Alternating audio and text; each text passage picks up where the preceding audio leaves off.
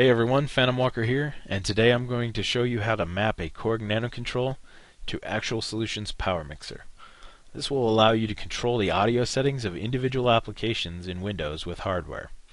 I'm using a first generation Korg nanoKontrol and Power Mixer version 3.7, which you can try free for 14 days from their website. Uh, the first thing you'll want to do if you haven't done it already is to download and install the USB drivers as well as the Korg control editor and power mixer.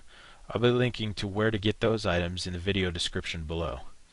Once you've installed everything, launch the control editor and power mixer. The control editor will ask you to pick the controller from the list of available devices. Once you've done that, switch over to Power Mixer and open the Options dialog. Select the mixer options, and then where it says Remote Control, check the box to enable MIDI control. Click the Configure button to open the MIDI commands editor. In this dialog, you can create commands that control the volume, balance, or other audio properties of your programs.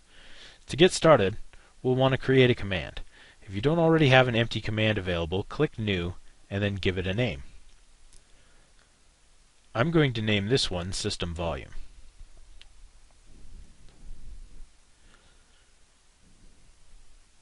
In the action drop-down, we'll be keeping the default action of adjust volume.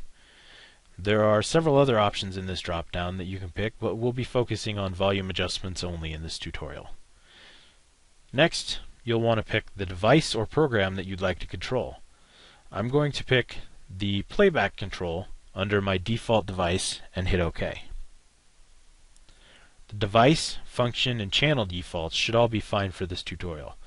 Feel free to mess around with those on your own and see if they do anything neat for you.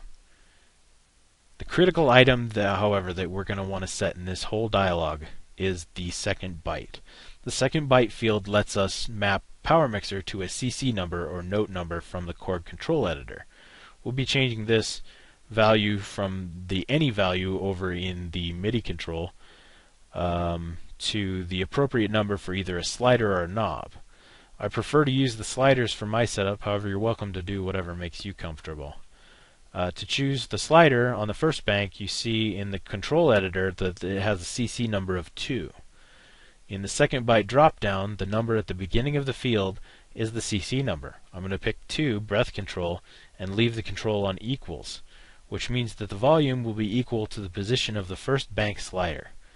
Okay, so that's pretty much all there is to it. Press OK on this dialog to save the command into the program. OK again to return to Power Mixer. Now if we test this out, you can see by sliding the first slider up and down that the volume is going up and down in Power Mixer as well as in Windows.